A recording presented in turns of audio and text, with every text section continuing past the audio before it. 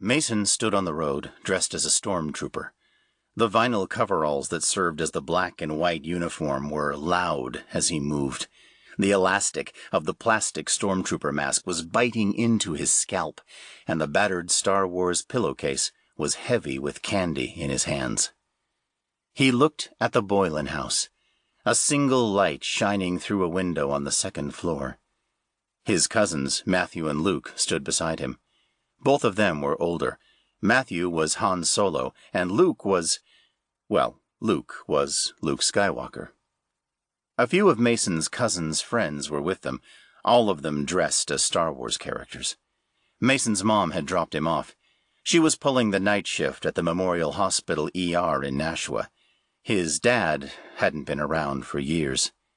Aunt Margaret had been happy to have him. Nobody wanted Mason to miss Halloween including Mason. But he wasn't too happy about being at the Boylan house. There was something wrong about the place. It just didn't feel right.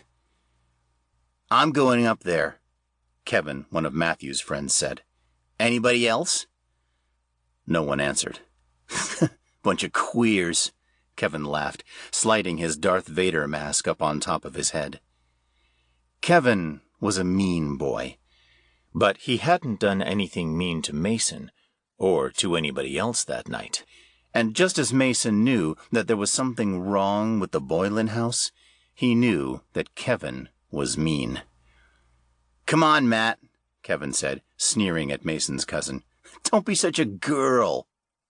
Matthew only shook his head, and Mason saw in the moonlight that his cousin's eyes were wet with tears. Matthew was too afraid to even answer. A soft wind rustled the tops of the trees, the remaining dry, desiccated leaves making a low, rattling sound. You're a bitch, Kevin said in a low voice, and Mason heard the threat of violence in it. I'll go, Mason said. Kevin's head snapped to the right to look at him. Surprise replaced the sneer that the older boy had been wearing, but the sneer quickly came back. How old are you? Seven, Mason answered. Again, the look of surprise. Mason knew he looked younger. His mother always talked about it. Kevin shook his head, grudging admiration in his voice as he said, Well, hot damn, kid. Let's make this happen. Kevin handed his bag of candy off to a boy named Chad. I'll hold yours, Luke said softly. Thanks, Mason said, letting his cousin take the pillowcase. Are you okay? Luke asked him. Mason nodded, his throat suddenly too dry for him to speak. Kevin started walking up the slight hill towards the Boylan house. Mason followed a few steps behind. The older boy glanced back to make sure Mason was there, and Mason saw a flicker of relief on the older boy's face. It seemed to take a terribly long time to get to the Boylan house's front door. Mason had never seen a door so large. It towered over both of them.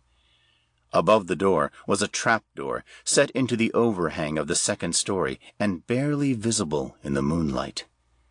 Mason noticed how silent the world suddenly seemed to be as he stood there waiting. The insects and the night animals had seemingly been robbed of their voices. The wind had vanished, and an ancient, sickening smell rose up from the grass beneath their feet.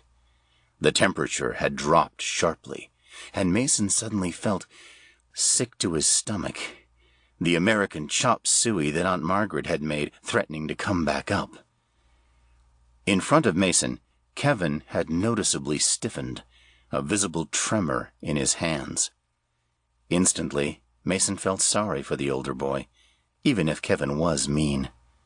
Kevin was scared.